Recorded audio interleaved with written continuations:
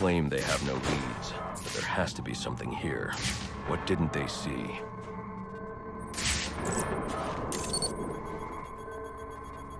These bruising patterns are inconsistent with the police report of multiple strikes. The victim suffered one massive blow that shattered multiple bones.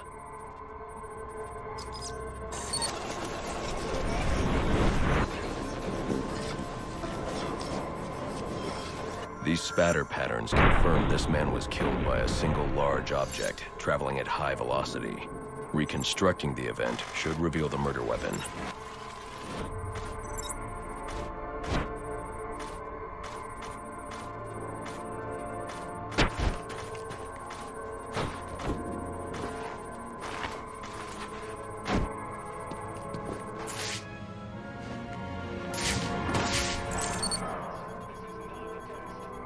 The prints belong to Andrew Carter.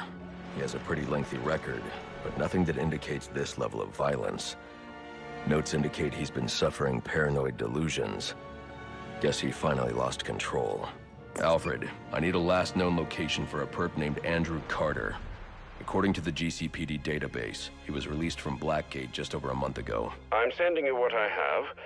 Oh, hold on. Hmm. There's a notation here indicating he stopped attending court mandated therapy sessions recently and is believed to be quite unstable.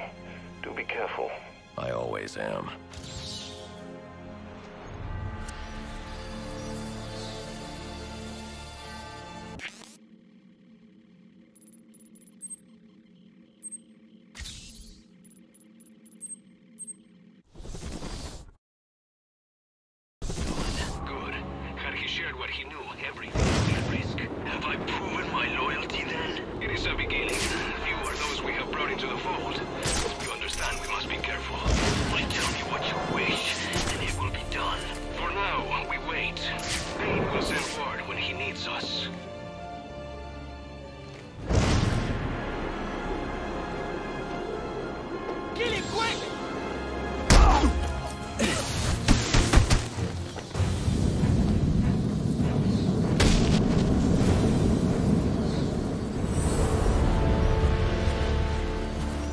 My victory was not meant to be.